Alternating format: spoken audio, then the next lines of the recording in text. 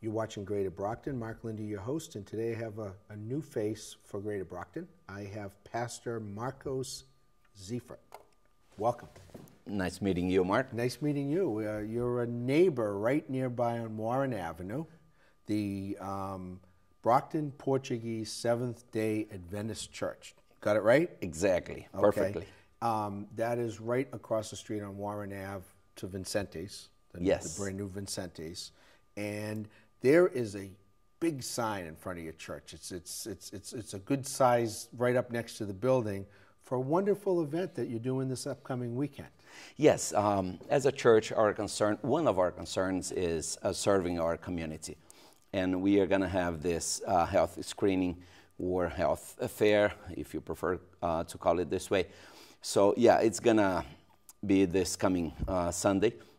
And our purpose is to help as many people as we can with their uh, various needs, um, since, uh, from, from haircuts to uh, high, blood, uh, uh, high blood pressure checking and other issues re- related to their health.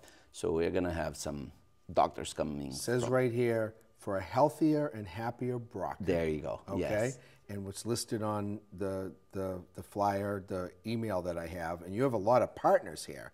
We'll talk about them in a minute. All right. Screening for cholesterol, screening for diabetes, blood pressure, body mass index, much more. And then looking at the partners, the ones that I can see without any glasses or anything, you have Signature Healthcare, you got uh-huh. Good Samaritan Medical Center, you have the Neighborhood Health Center, so you have all the health organizations in Brockton, the Brockton Visiting Nurse Association, you get groups like the YMCA. So you're partnering with other community organizations. Yes, yes, we are forming a team to better serve our community, and that's our uh, that's our goal to get more and more involved with uh, these and other partners to better serve, uh, as I said, our community here in Brockton. Now, it's not just Sunday. We're going to back up a day and we're going to talk about Saturday too, because you have a walk as well a walk against drugs, tobacco, and alcohol. Yes, uh, we understand that uh, one of the major problems we face here in, in Brockton, obviously it's not limited to Brockton, um, but here in Brockton we have um, many acts of violence, uh, product of a mix of alcohol, drugs, and things related. So we decided to, to have this uh, awareness a walk uh, on, on Saturday. Starting at, uh, starting at uh, 2 p.m. And uh, so we want to make the city uh, aware of that, uh, of those dangers uh, involved behind those um, uh, things that sometimes the, the propaganda or the I would say the media makes it seem right sometimes. Not the media, I, I couldn't say the media, but those behind that uh, financing uh, the tobacco company, for example, and, and Right. things like that. They seem to sell uh, a different image, but we just want to make people think about the seriousness of those things. Back in the day when I was a kid, they'd give out candy cigarettes to make it look like it was cool to smoke. There you okay, and they marketed to kids, Camel specifically, Joe Camel, things like that. Mm-hmm. So what you're going to do is there's going to be a walk from the church, right on 28 Warren Ave. You're going to go all the way down Warren Ave to Forest, Exactly. down to Main, Mm-hmm. and back around to Pleasant Street to Warren, a nice Yes. big square right in the downtown area.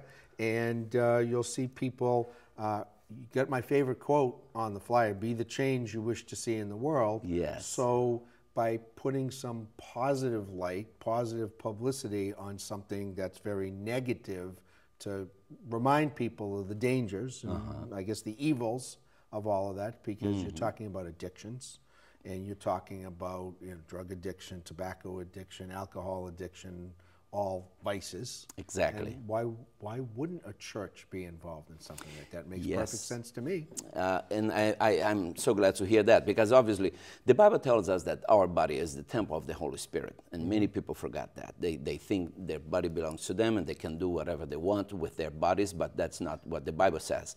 And unfortunately, many people nowadays think God is not speaking with us anymore. But I don't think God's not speaking with us. The problem is the Bible is not, uh, the Bibles are not open, open as as much as they should. Uh, so they have been closed, and that's why people think God's not talking, but He is. And one of the things He is emphat- emphatic in all in the whole Bible is the care we should take with this temple of the Holy Spirit, our body. Yeah, it was said so many years ago by uh, the father of the medicine. Um, he said, uh, "We, our medicine should be our food, and our food should be our medicine. So we have to take care of what comes into our mouth because it's going to reflect in the way we think, in the way we act and react. So while we have you here, your church, how big is it, and who came up with this idea to do all of this? How did, how did this all evolve? Very good question. yeah, the church is uh, 280 members, mm-hmm. and um, our program, annual program, involves uh, each month we have an emphasis mm-hmm. in one topic. And um, now we came to the point where the emphasis is going to be health. Mm-hmm. So we have emph- emphasis on music, emphasis on uh, youth, mm-hmm. uh, emphasis on several other uh, um, topics that we cover throughout the year. So now, being this, uh, the, the, the emphasis now being uh, health, uh, we came together. Um, Jack is our health leader in our church. And uh, speaking with him, I have been dreaming about this initiative for several years. Mm-hmm. The only thing I, I have missed uh, so far was somebody uh, willing to engage the, the, the thing and, and say, hey, let's make it come out of the paper and go to the streets. And now Jack came in, and he is the man. So uh, with his help, uh, it would it uh, was possible for us to move for, uh, from our intentions to our actions. So basically, it came out of we, we have a, a board of uh, trustees uh, or board meeting that where we discuss all of that. So it comes from a brainstorm from different leaders of the church and uh, so it's difficult to say it, Team effort. Team effort. That's the way it is. Perfect. So uh, the Brockton Portuguese Seventh Day Adventist Church, 28 Warren Avenue, is doing two things: a walk on Saturday, uh, September 24th, uh-huh. starting at 2 p.m. from the church, um, and then the next day a health fair, two o'clock, right at the church with all sorts of screenings and everything. Give us the phone number and maybe the website for the church, real quick. Sure. Uh, the phone number is 469 879 8009. I, I will um, have to, I didn't bring the website. So we'll get it from Yeah, I, I will try to provide it for you uh, immediately after this uh, meeting. But yeah, our phone number is this one, and people are invited to come, especially for the health screening or the health fair on, on Sunday.